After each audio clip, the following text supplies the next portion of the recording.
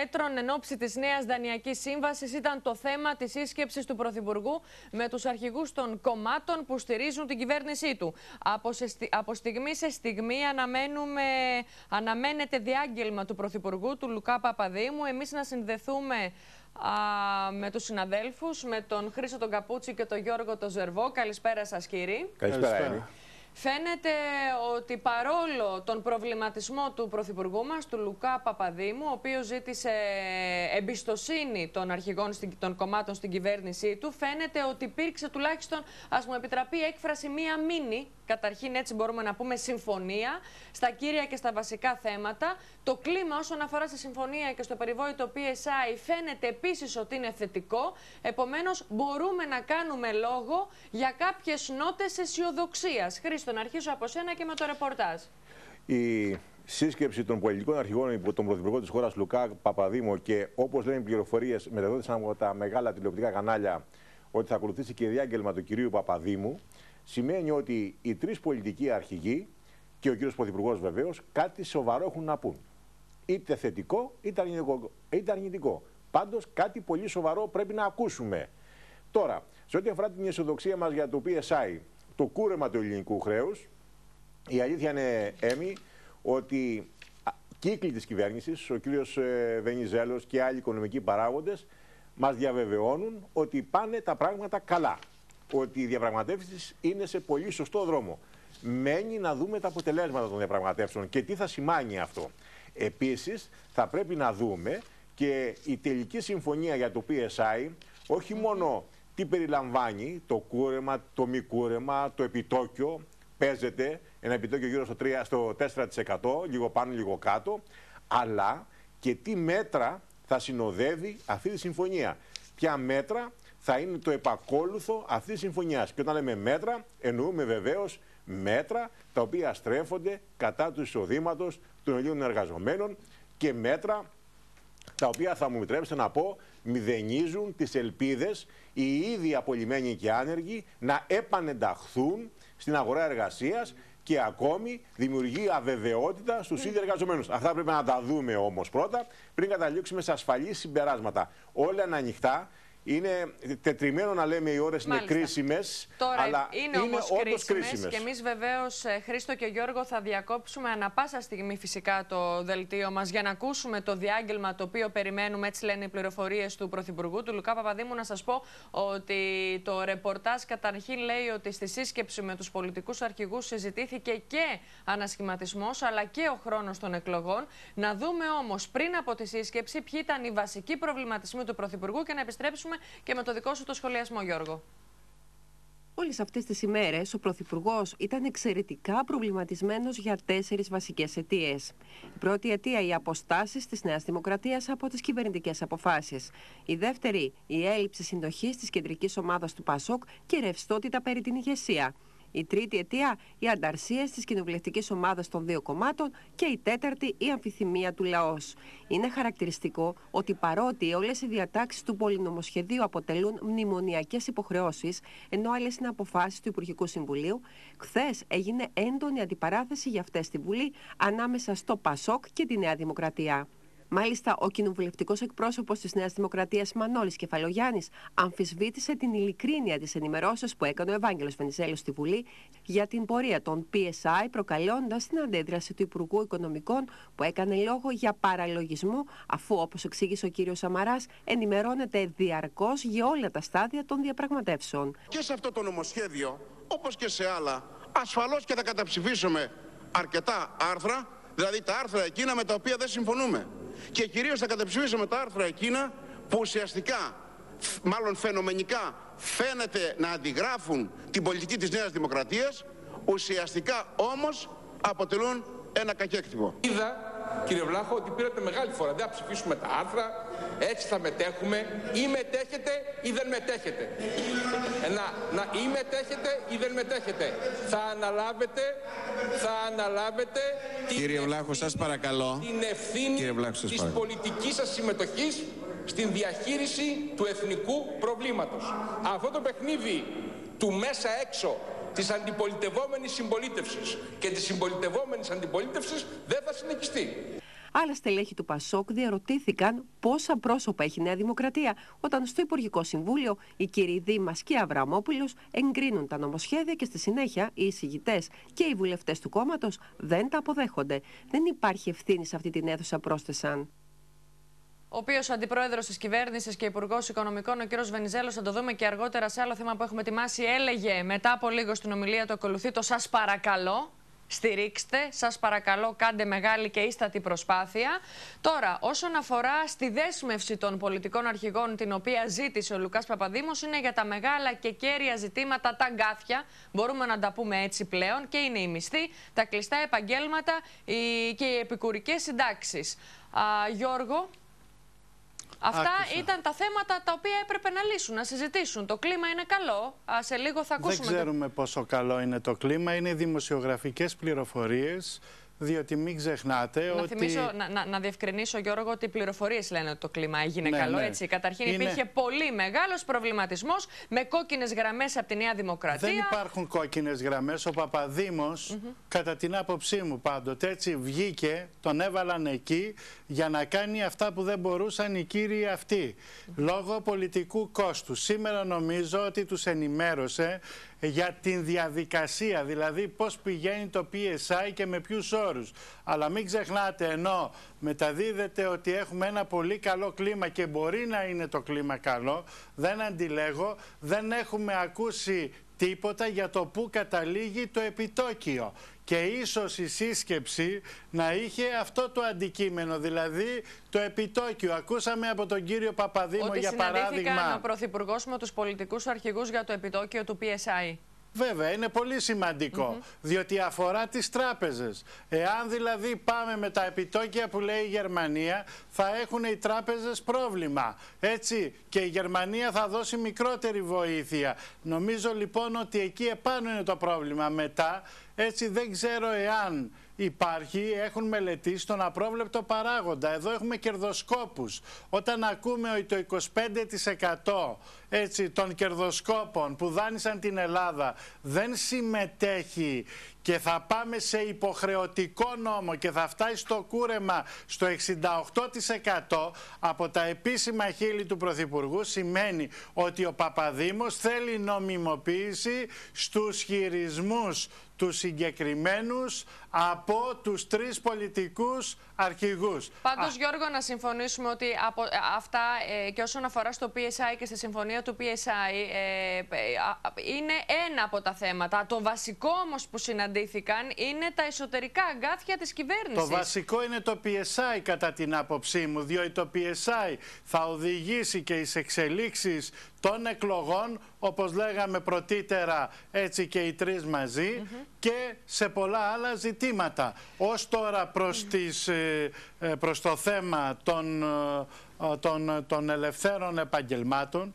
εγώ είναι θα τα, σας... εσωτερικά θέματα τα δικά μας εμείς. Τι ναι, τα εγώ θα σας ρωτήσω το εξής. Θα απελευθερώσουν, θα ξεκινήσω από εκεί, τα ταξί. Έχετε κατέβει στους δρόμους Αθήνας από, το, από τη Ριζάριο, την Πανεπιστημίου, την Ακαδημίας, προς την πλατεία Βάθης κάτω, έτσι να δείτε τον στόλο των ακινητοποιημένων ταξί κατά τις νυχτερινές ώρες, δηλαδή ψάχνουν, όπως λέγαμε παλιά, πελάτη ε, με, με τηλεσκόπιο οι άνθρωποι για να το βρουν, διότι δεν και πόσες γίνεται... φορές έχει αλλάξει περιβόητη ε, ε, το νομοσχέδιο, μία έτσι και μία αλλιώς. Κάθε φορά έρχεται η Τρόικα και, και δεν ξέρει τι θα αντικρίσει. Με τον κύριο Βορύδη δεν έχει ξεκαθαρίσει πλήρως η κατάσταση. Και αν ευνοήσει τους ταξιτζίδες θα δείτε ότι από την άλλη πλευρά θα ξεσηκωθούν οι φορτηγατζίδες, διότι δίνουν τη δυνατότητα και νομίζω το είπε και χτες ο κύριος Βενιζέλος ή σήμερα παρακολουθώντας συνεδρία της Βουλής, θα δώσει δυνατότητα σε κάποιους από το εξωτερικό να μπουν μέσα στην Ελλάδα με αυτό το σύστημα ή με τη φτώχεια που υπάρχει θα δώσει σε κάποιους μεγαλοσχήμονες επιχειρηματίες οι οποίοι μπορεί να είναι πετρελαιάδες, να είναι στο φυσικό αέριο, να είναι ξέρω εγώ μεγάλοι ξυλέμποροι ή οτιδήποτε άλλο, να κάνουν εταιρείες Τα και λες πολύ ορθά και πραγματικά προτείνω να δούμε το ρεπορτάζ που έχουμε ετοιμάσει για το αλαλούμ όσον αφορά στο θέμα το οποίο λες από το, και από τον κύριο Βορύδη. Και προς επικουρικές συντάξεις μια θα επιστρέψουμε να μείνουμε λιγάκι στα φορτηγά και στα ταξί διότι έχει αλλάξει το νομοσχέδιο τρεις ή τέσσερις φορές και θα επιστρέψουμε με δικό σου σχολιασμό και με του Χρήστο. Οι ελεγκτές στη συνάντησή τους με στελέχη του Υπουργείου Υποδομών δεν έκρυψαν την οργή τους από μια πρόνοια της ηγεσίας του Υπουργείου για την απελευθέρωση των φορτηγών δημόσιας χρήσης. Με αυτήν απαγορεύεται η δραστηριοποίηση μεταφορέων τρίτων χωρών στην ελληνική αγορά και επιτρέπει μόνο εταιρείες των κοινοτικών χωρών να επιχείρησουν στην χώρα μας. Η διάταξη αυτή ανατρέπει τον νόμο ΡΕΠΑ, ο οποίος άφηνε την ελληνική αγορά πλήρως ελεύθερη σε κάθε ημεδαπή αλλοδοπή εταιρεία, αλλά και το νομοσχέδιο Ραγκούση που επιτάχυνε το άνοιγμα της εν λόγω αγορά. Ο Μάκης Βορύδης οδηγείται σε σύγκρουση με τους δανειστές, καθώς οι εκπρόσωποι τους θεωρούν ότι η συγκεκριμένη διάταξη πρέπει να αποσυρθεί. Ενώ ο Υπουργός πιστεύει ότι η πρόνοια αυτή αποτελεί το μοναδικό ανάχωμα στον αθέμητο ανταγωνισμό των μεταφορέων τρίτων χωρών, όπως η Τουρκία και η Ελβανία, που υφίστανται οι Έλληνες αυτοκινητιστές. Η διάταξη αποτελεί επίσης το πλέον σημαντικό σημείο της Συμφώνια Νέας Δημοκρατίας και Λαϊκού Ορθόδοξου Συναγερμού για το νομοσχέδιο και τυχόν αλλαγή της ενδεχομένως να επηρεάσει και τις ισορροπίες στην κυβέρνηση. Δυσαρέσκεια στην Τρόικα έχει προκαλέσει και η διάταξη για την απελευθέρωση των ταξί. Το σχέδιο προεδρικού διατάγματος του Δημήτρη Ρέπα, που άνοιγε απλώς μια χαραμάδα στην αγορά, ανατράπηκε πλήρως επί Γιάννη Ραγκούζη με την δοκιμαστική απελευθέρωση του κλάδου. Και αυτό όμως ενταφιάστηκε από το σχέδιο του Μάκη Βορύδη, που έκλεισε άρον-άρον την αγορά, αφού συνδέει την έκδοση νέων αδειών με τα αποτελέσματα περιβαλλοντικών και συγκοινωνιακών μελετών αναπεριοχή. Εν πάση περιπτώσει, ο σχολιασμός όλος δικός σας για το αλαλούμ να το πούμε. Οβιδιακές μεταμορφώσεις να τις πούμε. Σύγκρουση Τρόικας με Βορύδη να τα πούμε. Τα θύματα είναι οι, οι, οι άνθρωποι που οδηγούν ταξί και έχουν φορτηγά. Θέλω να πω ότι άλλα περίμενα από τον ε, κύριο Βορύδη. Απεδείχθη ότι ε, είναι κατώτερος των περιστάσεων, ότι δεν έχει θα έλεγα, τις ικανότητες, δεν έχει αυτά τα οποία χρειάζεται, δεν έχει το, το απαραίτητο υπόβαθρο για να είναι επικεφαλής ενός τόσο κρίσιμου Υπουργείου. Εραστεχνισμοί από τον κύριο Βορύδη. Κατώτατος των περιστάσεων Λόγω έλλειψης. Ε, ε, λόγω έλλειψης, ε, ε, ε πολιτικούς σθένους, ίσως Χρήστο; Κοίταξε, έλλειψης εμπειρίας το πρώτον. Το δεύτερο, ενδεχομένως, ε, ο κύριος Βορύδης δεν ξέρω τι διασυνδέσεις έχει με επιχειρηματίες, με κόσμο άλλο κτλ. Δεν ξέρω, δεν ξέρω. Δεν, λέω, δεν το ξέρω. Δεν μπορώ να το ξέρω. Εν πάση περιπτώσει, όλα είναι προς διερεύνηση, διότι μπορεί και κάποιοι επιχειρηματίες ε, να, να επηρεάζουν τις αποφάσεις του κυρίου Βορύδη και αυτό θα πρέπει να ελεγχθεί, γιατί όλοι κρινόμαστε όταν μάλιστα ε, διαχειρίζονται χρήματα του ελληνικού λαού και παίρνουν κρίσιμες αποφάσεις που αφορούν χιλιάδες οικογένειες επαγγελματιών, ταξιτζίδες, φορτηγατζίδες. Είναι επαγγελματίες, είναι άνθρωποι οι οποίοι έχουν οικογένειες. Δεν είναι μόνοι τους σε αυτόν τον κόσμο. Ε, όλα αυτά λοιπόν θα πρέπει να τα συνεκτιμήσουμε. Πάντως η εκτίμησή μου είναι ότι ο κύριος Βορύδης ε, με εραστεχνικό τρόπο θα έλεγα χειρίζει τα θέματα του Υπουργείου του και περίμενα πολύ περισσότερα. Νομίζω ότι είναι κατώτερος των περιστάσεων και των ικανοτήτων που απαιτούνται για να έχει κάποιος να ηγηθεί ενός τόσο κρίσιμου Υπουργείου. Γιώργο. Είναι στο θέμα που επένδυσε έτσι πάρα πολύ από την πρώτη στιγμή. Πρέπει να πούμε, αλλά εγώ θέλω να σημειώσω εδώ, επειδή είχα αρχίσει να το λέω και πρωτήτερα, αλλά μια και το ανέπτυξε ο Χρήστος, εγώ θα συμφωνήσω με τον Χριστό και θα πω ότι από την πρώτη στιγμή οι επαγγελματίες, ταξιτζίδες και φορτηγατζίδες φώναζαν ότι οι υπουργοί του Πασόκ έτσι ενεργούν για λογαριασμό των συμφερόντων αυτών που έχουν το χρήμα για να στήσουν εταιρείες και να εκμεταλλευτούν όλο αυτό το κύκλωμα. Και φαίνεται ότι από αυτόν τον νόμων των υπουργών του Πασόκ δεν μπορεί να ξεφύγει ούτε και ο Υπουργός Υποδομών του Λαός, ο κύριος α, Καρατζαφέρης πήγα να πω, ο κύριος α, Βορύδης. Ε, με, το ένα είναι αυτό. Το δεύτερο, πιστεύω ότι είναι, ε, μπορεί να φαίνεται πάρα πολύ σοβαρός, αλλά στη συγκεκριμένη περίπτωση λειτουργήσε παρορμητικά στην αρχή, δηλαδή δεν είχε μελετήσει το θέμα όσο έπρεπε βγήκε μπροστά, υποχρεώθηκε να πάρει κάποια πράγματα πίσω και τώρα είναι στο ράβε ξύλωνε. Έτσι. Και ναι, αυτό δεν είναι όμως σοβαρή πολιτική. Δεν το είναι ράβε σοβαρή. Ξύλωνε... Και το τρίτο είναι η απειρία του διότι δεν έχει ξαναχρηματίσει υπουργός. Βεβαίως οι νέοι άνθρωποι πρέπει να βγαίνουν μπροστά για να αποκτήσουν την εμπειρία, αλλά πρέπει να καθίσουν δίπλα σε άλλους δασκάλους που έχουν εμπειρία να βγάζουν συμπεράσματα σωστά, να αποκτήσουν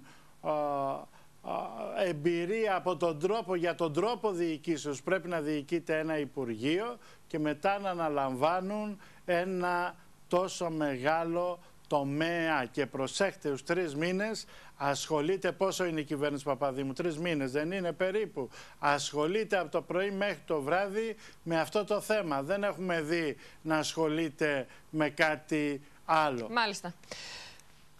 Να περάσουμε να δούμε το πολύ σημαντικό θέμα του PSI, ε, Γιώργο και Χρήστο, και να επανέλθουμε, διότι σε κρίσιμη φάση έρχονται διαπραγματεύσεις, όπως είπαμε και προηγουμένως στο δελτίο μας, για την ανταλλαγή των ελληνικών ομολόγων. Στο Μέγαρο Μαξίμου επικρατεί συγκρατημένη αισιοδοξία ότι θα ολοκληρωθεί επιτυχώς το PSI. Το καλό κλίμα επιβεβαιώνει με δηλώσεις του και ο επικεφαλής του Διεθνούς Χρηματοπιστωτικού Ινστιτούτου, ο Τσάρλ Νταλάρα. Με βάση τα τελευταία δεδομένα, το τελικό επιτόκιο φαίνεται να διαμορφώνεται ίσως και κάτω ή εν πάση περιπτώσει κοντά στο 4% για τα πρώτα χρόνια. Η ολοκλήρωση της συμφωνίας για το ελληνικό PSI ανοίγει διάπλατα το δρόμο για την υπογραφή της νέας δανειακής σύμβασης. Κοντά στην ολοκλήρωση του ελληνικού PSI βρίσκεται το Μαξίμου και οι ιδιώτες πιστωτές. Το κλίμα που επικρατεί μετά και τις τελευταίες πολύ ωραίες διαπραγματεύσεις είναι θετικό. Γεγονός που επιβεβαιώνεται από δηλώσεις επικεφαλής του Διεθνούς Χρηματοπιστωτικού Ινστιτούτου, Τσάρλς Νταλάρα, Πάντως, σημείο τριβή στις διαπραγματεύσεις ήταν το επιτόκιο των νέων ομολόγων που θα αντικαταστήσουν τα ομόλογα που θα υποστούν το haircut 50%. Σύμφωνα με πληροφορίες, το μεσοσταθμικό επιτόκιο θα διαμορφωθεί γύρω στο 20 έως 4,25% θα είναι κλιμακούμενο, ξεκινώντας τα πρώτα χρόνια από χαμηλά επίπεδα της τάξης του 3% και θα αυξάνεται σταδιακά μέσω ρήτρας, η οποία θα συνδέει το ύψος του επιτοκίου με το ρυθμό ανάπτυξης της οικονομίας. Επίσης, τα νέα ομόλογα αναμένεται να έχουν διάρκεια 30 ετών. Ειλικρινά σας παρακαλώ, στο όνομα της πατρίδας, να σηκώσουμε μαζί με σοβαρότητα, με συνένεση και με τις αναγκαίες σιωπές, γιατί πολλές φορές οι σιωπές είναι πιο εύγλωτες από την ανταλλαγή επιχειρημάτων μεταξύ κομμάτων, να σηκώσουμε αυτό το βάρος και να καταλήξουμε να ανακοινώσουμε κάποια στιγμή στις Ελληνίδες και στους Έλληνες ότι κλείσαμε τον κύκλο αυτό και ότι αποκτά πλέον η Ελλάδα σταθερότητα, βεβαιότητα, ασφάλεια μέσα σε έναν δύσκολο και ασταθή κόσμο. Ειλικρινά, κυρίες και κύριοι βουλευτές, σας παρακαλώ να σταθούμε στο ύψος των περιστάσεων. Η επιτυχής ολοκλήρωση του ελληνικού PSI ανοίγει τον δρόμο για την κατάρτιση της νέας δανειακή σύμβασης. Όπως ανέφερε ο Υπουργός Οικονομικών Ευάγγελος Βενιζέλος από το βήμα της Βουλής, το Διεθνές Νομισματικό Ταμείο ήδη έχει ανάψει το πράσινο φως για την έναρξη των διαδικασιών που αφορούν το νέο χρηματοδοτικό πρόγραμμα προς τη χώρα μας. Άναψε το πράσινο φως για την υποβολή του αιτήματος της χώρας προς το Διεθνές Νομισματικό Ταμείο προκειμένου αυτό να κινήσει τη διαδικασία για το νέο πρόγραμμα. Και χθες, σε άτυπη συνεδρία του Διοικητικού Συμβουλίου του Ταμείου, στην Ουάσιγκτον δόθηκε η έγκριση στα στελέχη του Ταμείου να αρχίσουν τις συνομιλίες με την ελληνική κυβέρνηση για το νέο πρόγραμμα. Αυτό τυπικά δεν είχε συμβεί μέχρι χθες το βράδυ. Και αυτό θα καταστεί πράξη αύριο το πρωί που θα δεχθώ στο Υπουργείο Οικονομικών την ε, αντιπροσωπεία της Τρόικας με τους επικεφαλείς της προκειμένου να αρχίσουμε επισήμως πλέον την διαπραγμάτευση για το νέο πρόγραμμα. Προϋπόθεση του νέου προγράμματος είναι να ευοδοθούν οι προσπάθειες για το PSI και προϋπόθεση για την ολοκλήρωση των προσπαθειών του PSI είναι να υπάρξει το νέο πρόγραμμα γιατί χωρίς το νέο πρόγραμμα δεν μπορεί να διαμορφωθεί το σχήμα του PSI όπως το περιγράφει η απόφαση του Ευρωπαϊκού Συμβουλίου της 26 Οκτωβρίου. Σε αυτό το σημείο θέλω να καλησπερίσω στο δελτίο μας τον κύριο Κώστα Βεργόπουλο, καθηγητή πολιτικής οικονομίας στο Πανεπιστήμιο Παρισιού και στη Σορβόνη. Καλησπέρα σας, κύριε καθηγητά. Γεια σας. Καλησπέρα. Λέμε, οι πληροφορίες λένε και το ρεπορτάζ από το απόγευμα λέει όλο και πιο έντονα αυτό που πολύ εύστοχα λέει και ο τίτλος μας και θέλουμε έτσι μια επιβεβαίωση για να χαρεί το, χείλ, το χιλάκι μας λίγο ότι είμαστε σε καλό δρόμο όσον αφορά σε διαπραγματεύσεις για το ελληνικό PSI το οποίο σημαίνει ότι έχουμε, θα έχουμε ένα επιτόκιο πάνω κάτω στο 4%, 4,25, κάτω από 4, κάπως έτσι και θα έχουμε ένα κούρεμα κοντά στο 60%. Κύριε καθηγητά, ο λόγος εσάς με τις δικές σας πληροφορίες και τι σημαίνει αυτό για την ε, ζωή μας, εάν εν πάση περιπτώσει έχει ακουστεί ότι και για τέσσερα χρόνια έχει λυθεί το θέμα μας. Ναι, ε, ε, τα είπατε όλα και στο τέλος η τελευταία φράση ήταν η πιο χαρακτηριστική. Μιλάμε για τέσσερα χρόνια, έτσι. Δηλαδή... Ναι, όχι, επειδή όμως λέγανε ότι χειροκοπούμε σήμερα, αύριο, εχθές, ξέρετε και τα τέσσερα χρόνια ότι είμαστε διασφαλισμένοι, έτσι για καλό το λέω. Δεν το είπα για κακό. Ναι, όχι, δηλαδή οι όροι με τους οποίους πάει να κλείσει το PSI Μάλιστα. είναι όροι που ε, αποσοβούν την ε, χρεοκοπία άμεσα, τη μεταθέτουν στον χρόνο.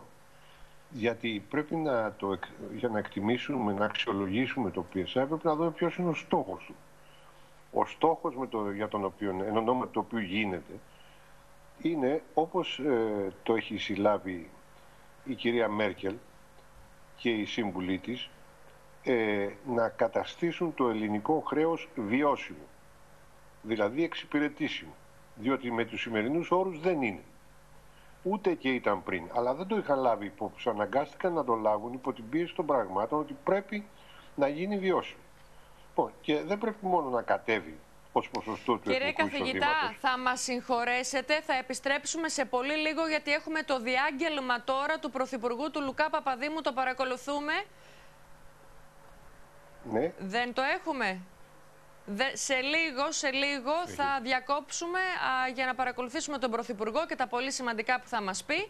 Αλλά για την ώρα δεν ε, ακούμε εσάς. Κύριε λοιπόν, Βεργόπουλε, συνεχίστε παρακαλώ.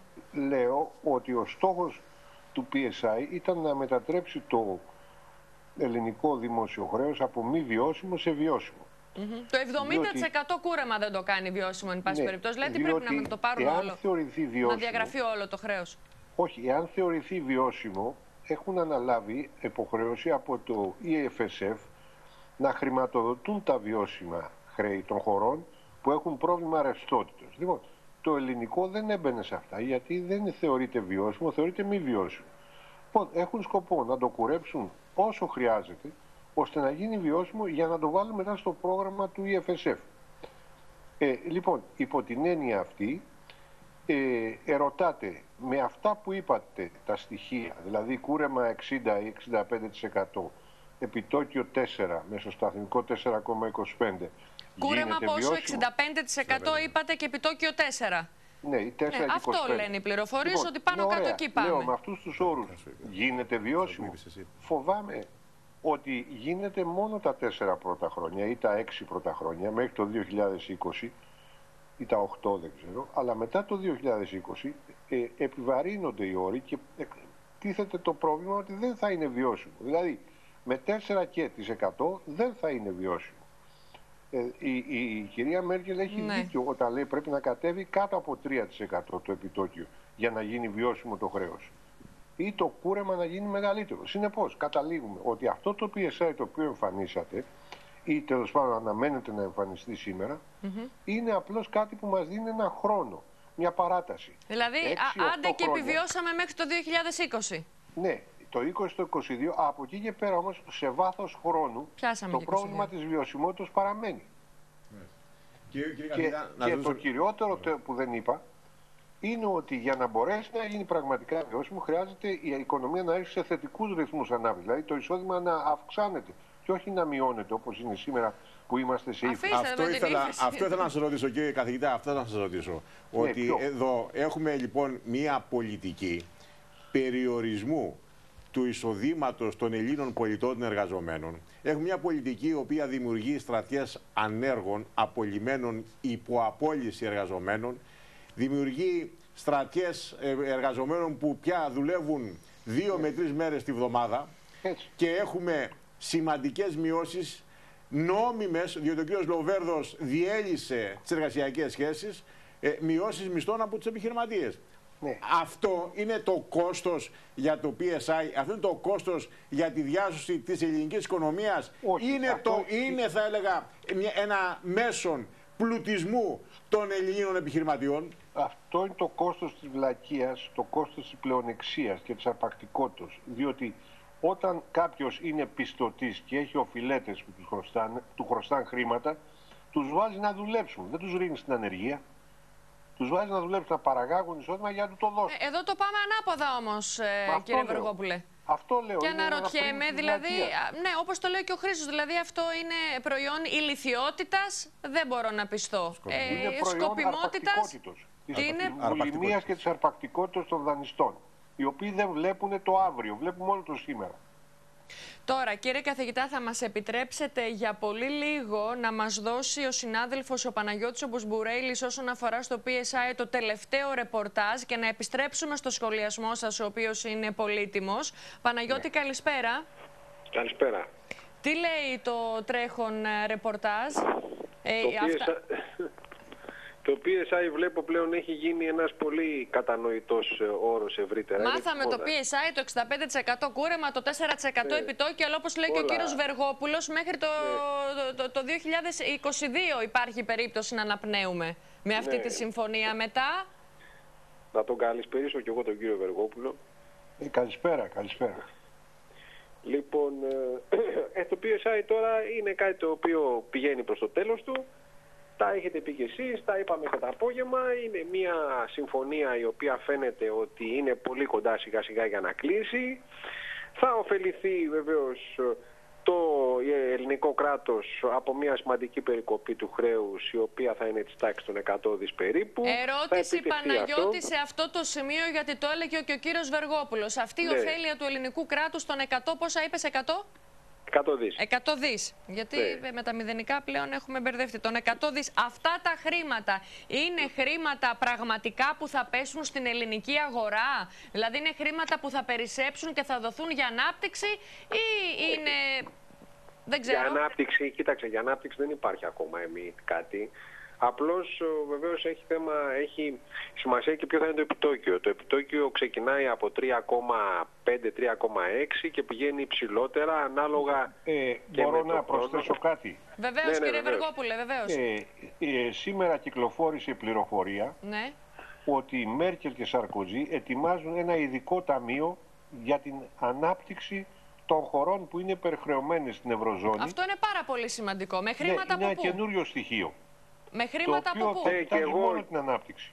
Ναι, είναι πολύ σημαντικό αυτό που λέει ο κ. και εγώ το είδα αυτό και βεβαίως ναι. αυτό θέλω να πω ότι πιστεύω και η πληροφόρηση δική μας ε, είναι ότι θα δούμε και στη Σύνοδο Κορυφής μέχρι το Μάρτιο, στη Σύνοδο Κορυφής του Μαρτίου, θα δούμε πολλά πράγματα από τους Ευρωπαίους που θα έχουν να κάνουν και με την αντιμετώπιση της κρίσης χρέους αλλά και με αναπτυξιακά μέτρα, τα οποία οι αγορές εν μέρει αυτή τη στιγμή τα γνωρίζουν και γι' αυτό βλέπουμε τα ευρωπαϊκά χρηματιστήρια και να ανεβαίνουν και να υποχωρούν τα ευρωπαϊκά spreads. Δηλαδή ναι. δεν είναι μόνο αυτό το οποίο έχουμε δει μέχρι τώρα από την πλευρά της Ευρωπαϊκής της Ένωσης ναι, και της Ναι, ναι, αλλά αυτό σημαίνει αλλαγή πλεύσης.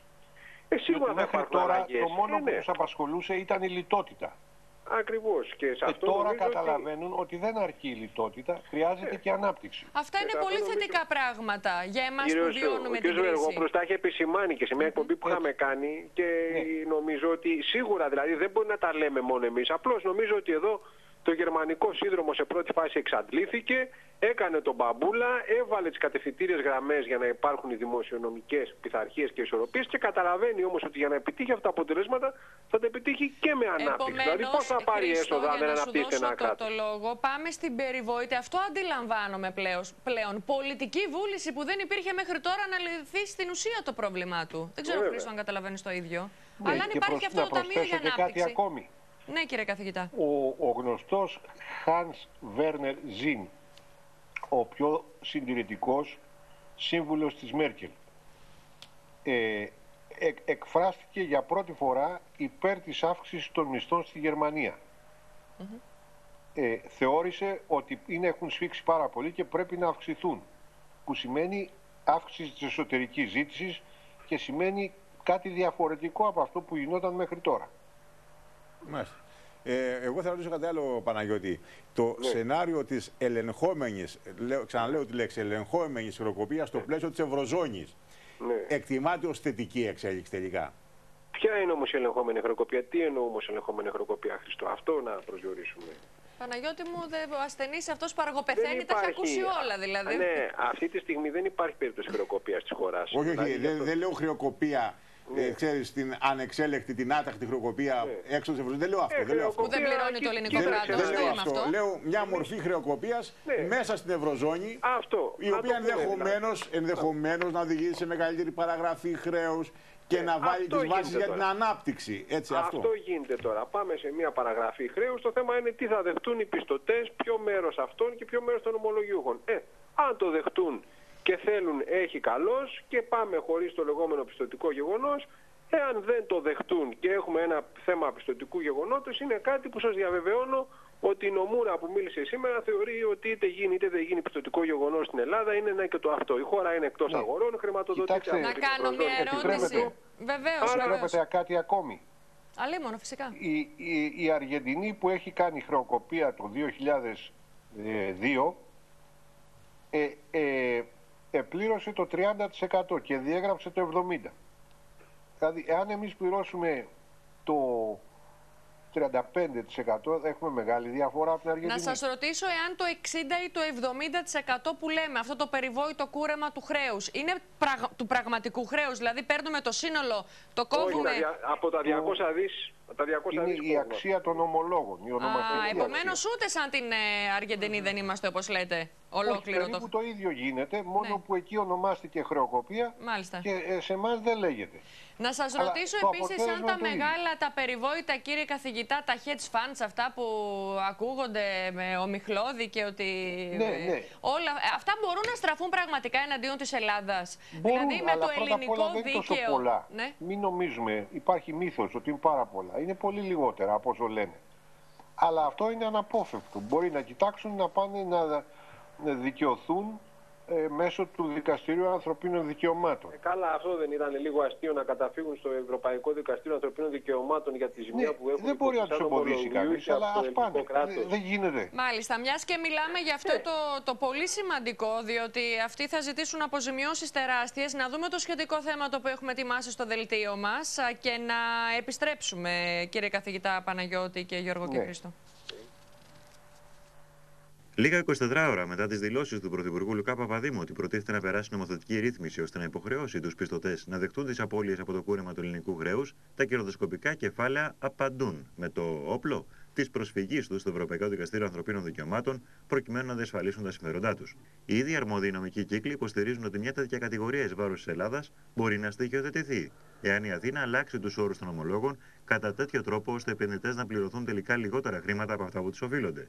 Ωστόσο, όπως αναφέρουν New York Times, μια τέτοια στρατηγική προσέγγιση δεν αναμένεται να υιοθετηθεί από όλα, αλλά από ορισμένα εκ των hedge funds που αναμένεται να υποστούν τις συνέπειες του ελληνικού κουρέματος. Οδηγός στην προσφυγή του στο Ευρωπαϊκό Δικαστήριο Ανθρωπίνων Δικαιωμάτων στο Στρασβούργο θα είναι ανάλογες περιπτώσεις που έλαβαν χώρα στη Λατινική Αμερική και στις οποίες η ετοιμιγορία ήταν υπέρ των hedge funds. Δεν θα είναι η Άγγελα Μέρκελ που θα αποφασίσει ποιοι θα υποστούν τις απώλειες, αναφέρει χαρακτηριστικά μιλώντας υπό το καθεστώς της ανωνυμίας ένας εκ των ιδιωτών επενδυτών που φέρεται να σκέφτεται το ενδεχόμενο προσφυγής στο Ευρωπαϊκό Δικαστήριο Ανθρωπίνων Δικαιωμάτων. Υπάρχουν συμβόλαια, συμπληρώνει, τα οποία η Ευρώπη δείχνει να έχει ξεχάσει ότι θα πρέπει να γίνουν σεβαστά. Θέλω το τελευταίο σας σχόλιο, Επαναγιώτη, και εσάς το δικό σας, α, κύριε καθηγητά, για το αν πράγματι γενικότερα στην Ευρώπη και στον κόσμο ε, υπάρχει ένα αρνητικό κλίμα για, τα- για, για τα hedge funds. Δηλαδή ε, φαίνεται ότι είναι στην αποκάτω σήμερα και ε, προηγείται να, να σωθεί η Ελλάδα και να πετύχει το PSI. Τα λέω σωστά; Τα hedge funds θεωρήθηκαν για μια περίοδο ιερά και όσια. Γι' αυτό το λέω. Ναι, και θεωρήθηκαν το ανώτερης Υποκλήθηκε μορφής ε, ε, ε, οι δημιούργημα. κυβερνήσεις. Ναι. Λοιπόν, αυτή τη στιγμή όμως συγκεντρώνουν την κατακραυγή όλων των χωρών. Άρα ισχύει. Ισχύει, βέβαια. βέβαια. Έχουν περάσει στην κάτω βόλτα, έχουν, έχουν πάρει τη- τον κατήφορο. Και μιλάμε για τεράστια hedge funds στα 3, 5, 10, τα μεγάλα εννοώ, αναφέρομαι, που συμμετέχουν Έλληνες, μεγάλο Ναι. επενδυτές. Ε, ναι, εννοείται. εννοείται. Ονόματα δεν λέμε. Εγώ, εγώ θα σας πω, εγώ διαφωνώ. Εγώ πιστεύω ότι στα hedge, τα hedge funds θα το χάσουν τελικά το παιχνίδι. Είναι πολύ πιθανό να το χάσουν. Τα ίδια λέμε. Επομένως δεν διαφωνείς. Παναγιώτη μου, το ίδιο λέμε θέλω, θέλω να πω το εξής. Ότι εγώ πιστεύω ότι τα hedge funds έχουν πάρα πολύ σοβαρούς ανθρώπους οι οποίοι χρησιμοποιούν πάρα πολύ μαθηματικά δύο πράγματα. Μαθηματικά μοντέλα, δηλαδή ξέραν, βρήκαν ότι η Ελλάδα πήγαινε προς χρεοκοπία. Βεβαίως κινούμενοι επιθετικά με το χρήμα, δηλαδή παίζοντας ένα πολλαπλάσιο του αρχικού τους κεφαλαίου ποσό και δανειζόμενοι, τι κάνουν; Στρα, στραπατσάρουν και ε, επιδεινώνουν μία εικόνα μιας χώρας. Ας αφήσουμε την Ελλάδα που είναι χρεοκοπημένη. Είναι όμως την από κάτω. Είναι Παναγιώτης ναι, στην από κάτω να σήμερα. Έμι, ένα λεπτό. Λοιπόν, επιδεινώνουν μια χώρα, την οικονομία μιας χώρας όπως της Ισπανίας για παράδειγμα. Που την Ισπανία επιχείρησαν να την βάλουν και αυτή σε μνημόνιο, να την βγάλουν από τις αγορές να μην μπορεί να δανειστεί. Και στη συνέχεια πάνε να κερδοσκοπήσουν από αυτό.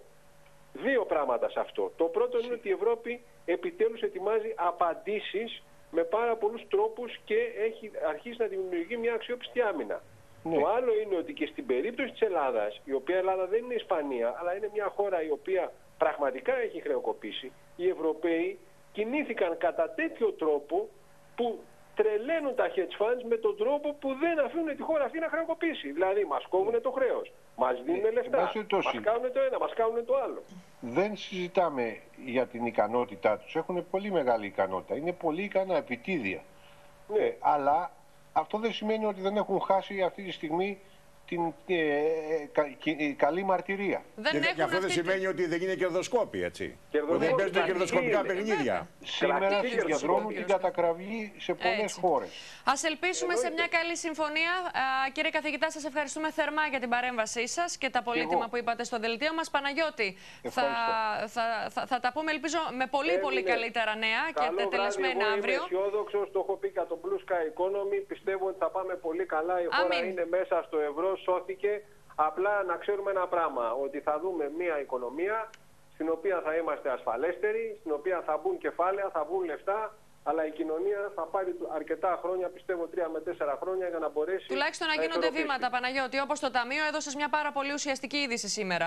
Α, σε ευχαριστούμε θερμά τώρα. Α, Γιώργο και Χρήστο, να πάμε στα επόμενα θέματα και θα επιστρέψουμε με ρεπορτάζ και σχολιασμό δικό σας. Η Τρόικα, λοιπόν, σε συναντήσεις της με τα στελέχη του Υπουργείου Εργασίας και Οικονομικών, επανέφερε το θέμα της μείωσης των μισθών στον ιδιωτικό τομέα. Όμως, ο διάλογος των κοινωνικών εταίρων διεκόπη εχθές με την κατάληψη από τα μέλη του ΠΑΜΕ, το κτίριο που επρόκειτο να συναντηθούν οι εκπρόσωποι των εργοδοτών και των εργαζομένων. Οι δύο πλευρές επιμένουν στις απόψεις τους, όπως άφησαν να φανεί στις συναντήσεις τους με τον Γιώργο Παπανδρέου. Ενώ η κυβέρνηση φέρεται αποφασισμένη να νομοθετήσει τις μειώσεις μισθών ανεξάρτητα από τον κοινωνικό διάλογο. Από την πρώτη κιόλας συνάντησή τους με τους παράγοντες του Υπουργείου, οι εκπρόσωποι της Τρόικας διευκρίνησαν πως η υλοποίηση των δεσμεύσεων και η τήρηση του χρονοδιαγράμματος που έχει συμφωνηθεί συνδέονται άμεσα με τη συνέχιση της οικονομικής στήριξης της χώρας. Όμως ο διάλογος μεταξύ των κοινωνικών εταίρων διεκόπη πριν καν αρχίσει, όταν μέλη του ΠΑΜΕ κατέλαβαν τα γραφεία που επρόκειτο να γίνει η συνάντηση. Με δεδομένο και απολύτως ξεκαθαρισμένο ότι κανένα από τα θέματα της Εθνικής Σύμβασης δεν διαπραγματεύεται και δεν υποχωρούμε, αναρωτιέται κανεί στα σοβαρά. Ποιους και τι σχέδια εξυπηρετούν οι τέτοιου είδους επιθέσεις, ακυρώσεις και προπυλακισμοί; Οι συζητήσεις ξανάρχισαν σήμερα με τις συναντήσεις του Γιώργου Παπανδρέου με εκπροσώπους των δύο πλευρών. Η ΓΕΣΕΔ διαπραγματεύεται την Εθνική Γενική Συλλογική Σύμβαση Εργασίας, η οποία προβλέπει την καταβολή του 13ου και 14ου μισθού, αύξηση 2,6% στα κατώτατα από τον ερχόμενο Ιούλιο και τις οριμάνσεις, αλλά μόνο μέτρα μείωσης των εισφορών με ισοδύναμο οικονομικού αποτελέσματος αντίβαρα για τα έσοδα των ταμείων με απόλυτη σαφήνεια από το κόμμα του οποίου ηγείται ο κύριος Πανδρέου να τοποθετηθεί επί της απειλής που ακούγεται ότι θα υπάρξει ε, πράξη νομοθετικού περιεχομένου. Ε, ο κύριος Πανδρέου τοποθετήθηκε σε γενικές γραμμές και είπε ότι στηρίζει αυτό το διάλογο και δεν θεωρεί ότι πρέπει να υπάρχει ε, παρέμβαση. Ο ΣΕΒ έχει θέσει θέμα επιβολής πλαφών στον 13ο και 14ο μισθό για τους υψηλόμισθους. Αντιθέτως, η ΓΕΣΕΒ και η Εθνική Συνομοσπονδία Ελληνικού Εμπορίου για να διασωθεί ο 13ο και ο 14ο μισθός έκαναν δημόσια πρόταση για διετέ ή τριετές πάγωμα των οριμάνσεων και των μισθολογικών αυξήσεων και μείωση του μισθολογικού κόστους. Οι εκπρόσωποι της Τρόικας έθεσαν επιτακτικά θέματα αναδιάρθρωσης των επικουρικών συντάξεων. Να παρακολουθήσουμε τη δήλωση για το θέμα η Γενική Γραμματέα του Υπουργείου Εργασίας, η Αθηνά Δρέτα. Από τη χθεσινή συνάντηση με την Τρόικα έγινε απόλυτα σαφές ότι η μεταρρύθμιση των επικουρικών συντάξεων αποτελεί απόλυτο προαπαιτούμενο για την εκταμείευση της επόμενης δόσης και την υπογραφή της Νέας Δανειακής ε, Σύμβασης. Ζήτησαν επίσης ε, να έχουν και μία συνάντηση με την Επιτροπή Εμπειρογνωμόνων που μετέχουν τα κόμματα που στηρίζουν την κυβέρνηση, δηλαδή οι εμπειρογνώμονες από τη Νέα Δημοκρατία και το λαός. Πρέπει πάρα πολύ γρήγορα ε, να προχωρήσουμε στη μεταρρύθμιση των επικουρικών, όχι γιατί το ζητάει η Τρόικα, αλλά για το καλό της κοινωνικής ασφάλισης και για την επιβίωση των επικουρικών ταμείων. Να επιστρέψω στον Χρήστο τον Καπούτσο και στον Γιώργο τον Ζερβό. Γιώργο, για το καλό μας, όπως είπε η κυρία Δρέτα. Όχι επειδή το θέλει η Τρόικα, αλλά για το καλό μας.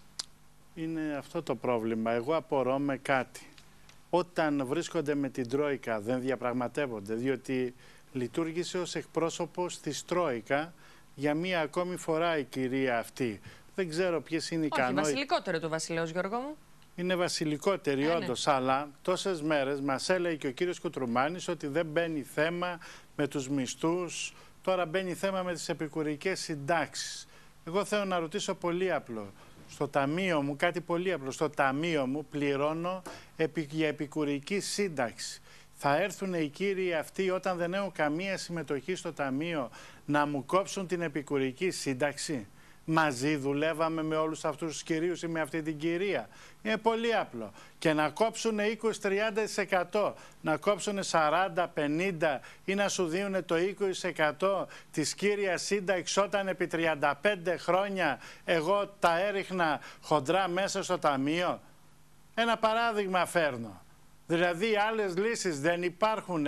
Η λύση σωτηρίας είναι το κόψιμο των συντάξεων, το κόψιμο των μισθών, έτσι, το κλείσιμο των επιχειρήσεων, διότι το κράτος από αυτή την ιστορία πάλι με και με τους μισθούς, με τις συντάξεις όχι τόσο πολύ, αλλά θα έχει αντίκτυπο στην κατανάλωση. Θα χρεοκοπήσουν τα πάντα. Πού το πάνε. Πάντως, Αυτό ε, αναρωτιόμαστε όλοι. Πού το πάνε, πάντως με, με, τη μείωση των μισθών σημαίνει ότι έχουμε μείωση και των ασφαλιστικών εισφορών. Αυτό με την αύξηση ανεργίας σημαίνει ότι μηδενίζονται οι ασφαλιστικές εισφορές των πρώην εργαζομένων.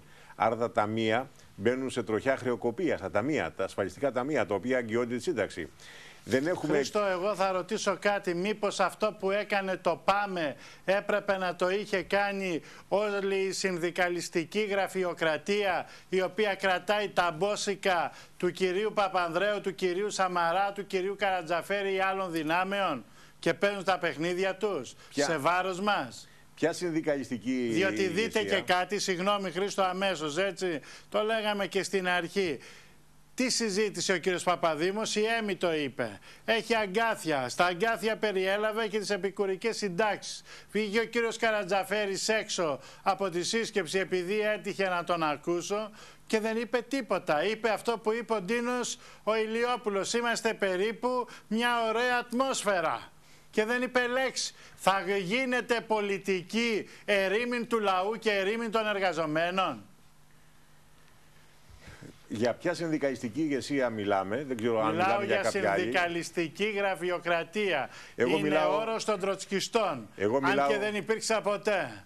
Εγώ μιλάω για συνδικαλιστική ηγεσία και ταυτίζουμε στο με το χαρακτηρισμό που έδωσε ο κύριος Ρωμανιάς, αν θυμάσαι, που τη χαρακτήρισε παραμάγαζο του Μαξίμου. Έτσι. Αυτή η συνδικαλιστική ηγεσία λοιπόν δεν μπορεί να πει όχι στον κύριο Παπαδήμο, στον κύριο Παπανδρέου, αύριο στον κύριο Σαμαρά ενδεχομένως, στον κύριο Καρατζαφέρη επίσης.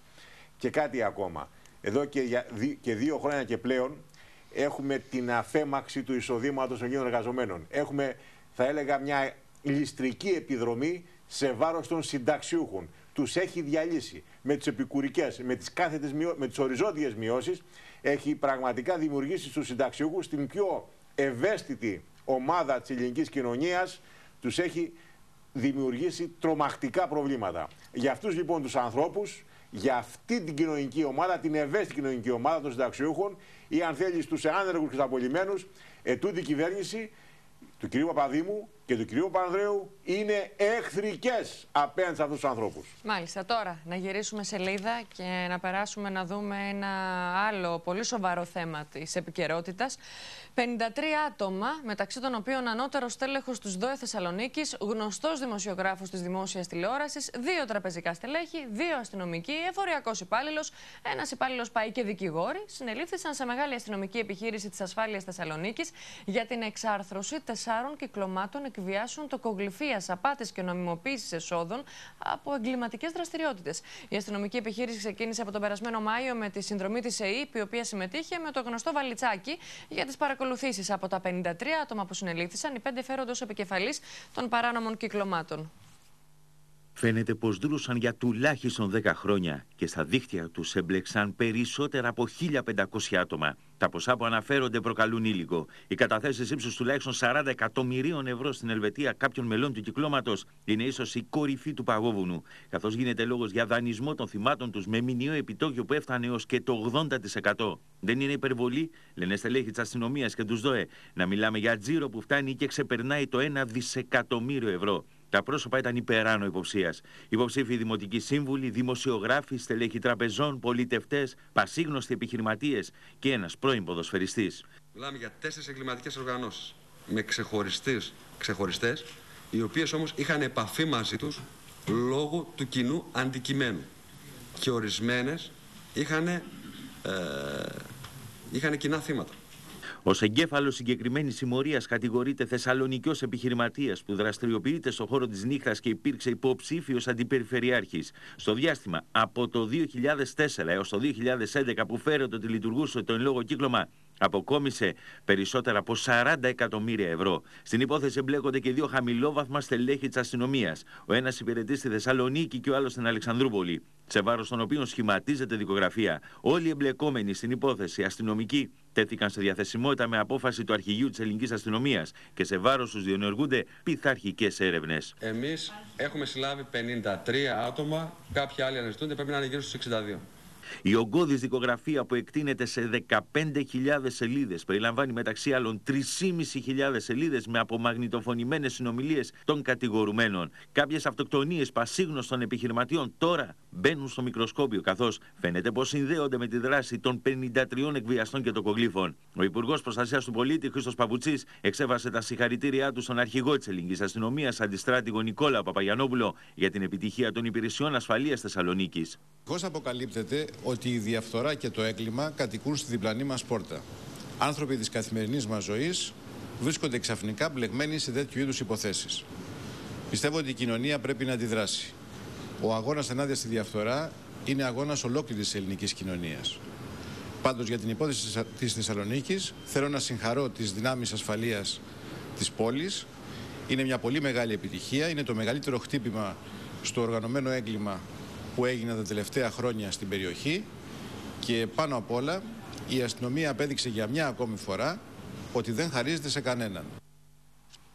Και να δούμε και το επόμενο θέμα, τη συλλήψη των μελών της Πύρας, σχολείας ο Ευάγγελος Βενιζέλιο, με αφορμή την εμπλοκή μεταξύ άλλων στελεχών τους ΔΟΕ κατά τον αντιπρόεδρο της κυβέρνησης και Υπουργό Οικονομικών στη Σπύρα. Εκπροσωπούνται σχεδόν όλα τα κόμματα. Τώρα διαβάζω στο παραδημοσιογραφικό σκέλος του διαδικτύου ότι μια μεγάλη επιτυχία της αστυνομίας και τους ΔΟΕ Θεσσαλονίκη που εξάρθρωσε τέσσερις συμμορίες οικονομικού εγκλήματος μπορεί να έχει ενοχλήσει τον Υπουργό Οικονομικών γιατί ένας από τους συλληφθέντες ήταν στέλεχος του Πασόκ και πρόεδρος των εφοριακών στο παρελθόν, επώνυμος παράγων του Πασόκ και μπορεί να είναι και ψηφοφόρος του Υπουργού Οικονομικών μεταξύ των πολλών χιλιάδων πρέπει να πω ψηφοφόρων του. Στο παρελθόν, θα δούμε τώρα. Λοιπόν, ακούστε, τίποτα από αυτά δεν τον έσωσε. Και παρότι όλοι οι κατηγορούμενοι περιβάλλονται από δικονομικές εγγύησεις και από τεκμήριο αθωότητας, δεν είναι ευχάριστο να βλέπεις τον φερόμενο ως επικεφαλής μιας οικονομικής συμμορίας να είναι υποψήφιος περιφερειακός σύμβουλος του Λαϊκού Ορθόδοξου Συναγερμού. Δεν είναι ευχάριστο να βλέπεις γνωστό επώνυμο δημοσιογράφο με στενές σχέσεις με τον χώρο της συντηρητικής παράταξης και της Εκκλησίας να προσάγεται ως κατηγορούμενος. Δεν είναι καθόλου ευχάριστο και συνιστά επιβαρυντική περίπτωση να κατηγορείται και να συλλαμβάνεται στέλεχος του Υπουργείου Οικονομικών που είναι στέλεχος του ΠΑΣΟΚ και είναι και στέλεχος του συνδικαλιστικού κινήματος. Αλλά το ίδιο το ΣΔΟΕ αυτοκαθάρθηκε. Και να καλησπερίσουμε σε αυτό το σημείο την ε, συνάδελφο, την κυρία Κλαούντια Έγκερς, υπεύθυνη δημοσιογραφικού τμήματος στο Ράδιο Θεσσαλονίκη. Καλησπέρα σας. Καλησπέρα σας. Όπως ε, βλέπουμε, η δράση του μαφιόζικου αυτού κυκλώματος έχει πλοκάμια σε όλη τη Βόρεια Ελλάδα. Έχουμε συγκλονιστεί όλοι, είναι η αλήθεια. Δάνεια με τον ναι, Και σε όλα τα κόμματα, είπε ναι, ναι. ο, μόλις ο κύριος Βενιζέλος. Ε, ναι, είναι ενδεικτικό της κατάστασης ότι ο αρχηγός της πιο μεγάλης από τις τέσσερις αυτές πύρες ήταν υποψήφιος αντιπεριφερειάρχης με το κόμμα του κυρίου Καρατζαφέρη στη Μακεδονία. Ε, με το ψηφοδέλτιο του κύριου Βελόπουλου δάνεια με τοκογλυφικούς όρους, απειλές, εκβιασμούς, ξυλοδαρμοί, όπλα μέχρι και οι φαπαραγές ε, ακίνητης και κινητής περιουσίας όπως και στο ενεργητικό τους αυτοκτονία κάποιου επιχειρηματία εδώ στη Θεσσαλονίκη το καλοκαίρι που μας πέρασε. Τι ποσά τζιράραν κυρία ε, ε, ε τι, τι ποσά περνάνε εκατομμύρια από τη λέμε πληροφορίες. Ε, ναι, περνάει το 1 δισεκατομμύριο. Αν ε, λάβουμε υπόψη μας ότι βρέθηκαν μόνο 40 εκατομμύρια σε ελβετική τράπεζα από την μία μόνο εγκληματική οργάνωση, την πρώτη, την πιο βασική, μπορείτε Πόσες να φανταστείτε... είναι οι εγκληματικές οργανώσεις; Είναι τέσσερις στον αριθμό. Τέσσερις Εδώ οποίες... μιλάμε για σπήρα, έτσι, για μαφία, για οι οποίες δεν συνδέονται ουσιαστικά μεταξύ τους με έναν κοινό αρχηγό, αλλά είχαν επικοινωνία μεταξύ τους και πολλές φορές αντάλλαζαν και θύματα. Παράλληλη δράση. Ο δημοσιογράφος τι ρόλο είχε μέσα στη Σπύρα; Ε... Εκπροσωπούσε την Εκκλησία. Αλλά πέρα από την Εκκλησία. Ε, Κανείς δεν μπορούσε να φανταστεί το ρόλο του δημοσιογράφου, ο οποίος πήγαινε αυτοπροσώπως για να εισπράξει χρήματα από τα θύματα ή έδινε στη σπήρα τους τραπεζικούς του λογαριασμούς. Έκανε και αστυνομικό ρεπορτάζ παράλληλα. Έκανε και αστυνομικό ρεπορτάζ παράλληλα. Και το πιο σοβαρό φυσικά απ' όλα είναι ότι έπαιρνε σαν δημοσιογράφος πληροφορίες από την αστυνομία στο όνομα του ρεπορτάζ, τις οποίες διοχέτευε στον αρχηγό της πείρα. Της πιο μεγάλης από τις τέσσερις, την πρώτη σπήρα δηλαδή. Να σας ρωτήσω, ονόματα θα δοθούν στη δημοσιότητα; Δεν μας δίνεται από την αστυνομία. Φυσικά τα ονόματα όλοι μας τα γνωρίζουμε. Αλλά από την αστυνομία τα ονόματα δεν δίνονται επισήμως. Ούτε από την εισαγγελία; Ούτε από την εισαγγελία δεν δίνονται τα ονόματα. Επισήμως, επαναλαμβάνω. Τα ονόματα όμως είναι γνωστά σε όλους. Όλα Ένας ή τρεις άνθρωποι. Ε, Ένας αυτοκτόνησε επιχειρηματίας. Και δύο Και υπήρξαν και δύο απόπειρες; Υπήρξαν και δύο απόπειρες, ναι. Η μία η αυτοκτονία έγινε το καλοκαίρι που μας πέρασε. Ήταν ένας επιχειρηματίας που δραστηριοποιούνταν στον χώρο της εστίασης ε, έπεσε από τον τέταρτο όροφο της πολυκατοικίας, άφησε ιδιόχειρο σημείωμα όπου έλεγε ότι δεν άντυχε άλλο το, τα βάρη, τα οικονομικά που είχαν προκύψει. Ε, τον εξεβίαζαν, έτσι. Είχε δανειστεί από την πρώτη σπήρα 450.000 ευρώ και από την τέταρτη σπήρα άλλα 100 χιλιάρικα. Τον εκβίαζαν ε, απειλώντας την οικογένειά του, δεν άντεξε και προφανώς για να σώσει την οικογένειά του αποφάσισε να αυτοκτονήσει. Ήταν μόλις 45 χρονών, άφησε πίσω η οικογένεια και είχαμε κι άλλες δύο απόπειρες από το καλοκαίρι και μετά. Κυρία Έγκερς, εσείς δηλαδή τώρα η, η, η, τοπική, μια κλειστή κοινωνία, δηλαδή και η Αθήνα στο τέλος ε, της ημέρας κλειστή κοινωνία είναι, πόσο μάλλον η Θεσσαλονίκη. Ε, δηλαδή πέσατε από τα σύννεφα, δηλαδή δεν είχατε ιδέα, το μάθατε εδώ και λίγες μέρες όλο αυτό ή κάτι ακουγότανε; Ε, κοιτάξτε, η δράση του αρχηγού της πρώτης πύρας ε, ήταν γνωστή παλαιότερα και είχε εμπλακεί και με τα οικόπεδα του βατοπεδίου, με την ιστορία του Κοκοβίνου. Μήπως πρόκειται για έναν ιδιοκτήτη νυχτερινών κέντρων; Ε, ναι, ακριβώς για έναν ιδιοκτήτη νυχτερινών κέντρων. Είχε Όλα ακουστεί παλαιότερα ναι, είχε ακουστεί παλαιότερα ότι δάνειζε με τοπογλυφικούς όρους. Κανείς όμως δεν μπορούσε να φανταστεί. Άλλο αυτό και άλλο εδώ τώρα. Αυτό. Ναι, ναι, ναι. Οπότε ναι. κάτι είχε ακουστεί. Ναι. Να σας ρωτήσω τώρα κάτι. Τι γίνεται με την υπόθεση του πρώην Δημάρχου, του κ. Βασίλη Παπαγιώργου. Όχι, να μας πει, Έμι, πρώτα πώς έφτασε η αστυνομία εκεί. Έχει σημασία. Ε, η αστυνομία έφτασε από την καταγγελία την επώνυμη που έκανε κάποιο από τα θύματα, ένας εκ των επιχειρηματιών, το Μάιο. Ε, εκεί άρχισε να ξετυλίγεται το κουβάρι, ε, όπου οι πληροφορίες έφτασαν το Μάιο του 2011, όπου στη Θεσσαλονίκη και στη Χαλκιδική δραστηριοποιούνται εγκληματικές οργανώσεις. Το Σεπτέμβριο και μέχρι πριν από λίγες μέρες στην ασφάλεια είχαν προσέλθει περίπου 40 θύματα των συμμοριών αυτών. Ε, η αστυνομία έκανε πάρα πολύ μεγάλο αγώνα, όπως μας είπαν οι ίδιοι, να καταφέρουν τα θύματα να μιλήσουν. διότι φοβούνταν όλοι. Αξιοποιώντας πληροφορίες, άρχισαν να παρακολουθούν τηλεφωνικές συνομιλίες. Χρησιμοποιήθηκε και το περίφημο βαλτσάκι της ΕΕΠ. Οι συνομιλίες καταγράφηκαν, το υλικό συγκεντρώθηκε. Ε, στα πλαίσια της αστυνομικής έρευνας ζητήθηκε και η άρση τραπεζικών λογαριασμών και φάνηκε ότι από τους λογαριασμούς κάτι δεν πήγαινε καλά, γιατί οι περισσότεροι εξ αυτών δεν δήλωναν φορολογικές δηλώσεις, δεν έκαναν φορολογικές δηλώσεις. Έτσι, τα ξημερώματα της Τρίτης, σε μια πάρα πολύ καλά συντονισμένη επιχείρηση της αστυνομίας, στην οποία συμμετείχαν 250 αστυνομικοί, συνελήφθησαν με τη διαδικασία του αυτοφόρου τα 53 άτομα. Υπάρχουν άλλα 9 μέλη, τα οποία δεν έχουν συλληφθεί ακόμα, έχει παρέλθει και το αυτόφορο και αναζητούνται. Μάλιστα. Κυρία Έγκερς, να πάμε τώρα. Αυτή η υπόθεση έχει βρει το δρόμο της. Περιμένουμε βεβαίως ονόματα, στοιχεία, να δούμε που θα πάει. Τώρα στην άλλη περίφημη, ε, σε εισαγωγικά, στην υπόθεση του, κυρίου, του πρώην δημάρχου του κυρίου Βασίλη Παπαγεωργόπουλου. Τι γίνεται εκεί, ο εισαγγελέας ζήτησε προφυλάκηση; Ο εισαγγελέας φέρεται να ζητά την προφυλάκηση του Βασίλη Παπαγεωργόπουλου καθώς και του Μιχάλη του Ζορμπίδη. Του πρώην αντιδημάρχου. Ναι, ναι. Λόγω της αντίθετης γνώμης όμως του ανακριτή και του εισαγγελέα, την τελική απόφαση για την προφυλάκηση ή μη θα τη λάβει το Συμβούλιο των Εφετών.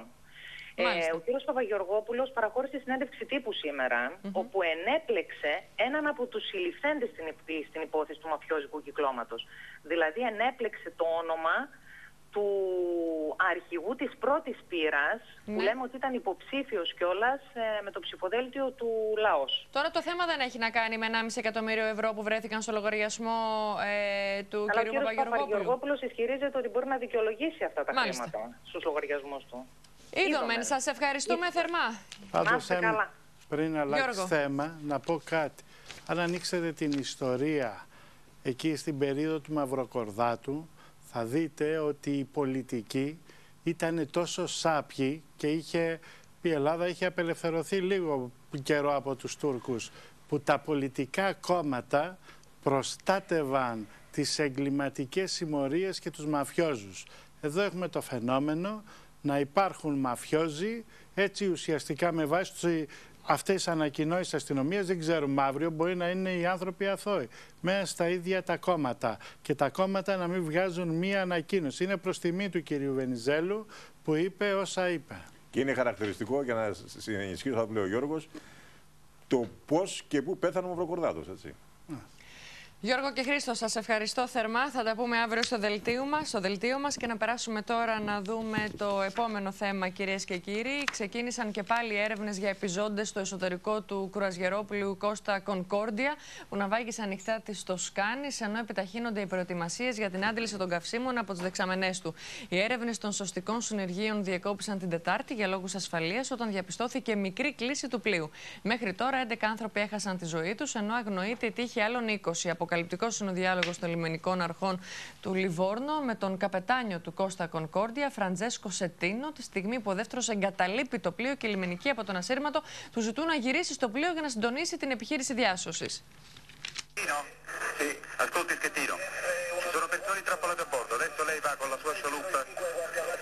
Sotto la prua della nave, lato dritto, c'è una biscaggina. Lei sale su quella biscaggina e va a bordo della nave.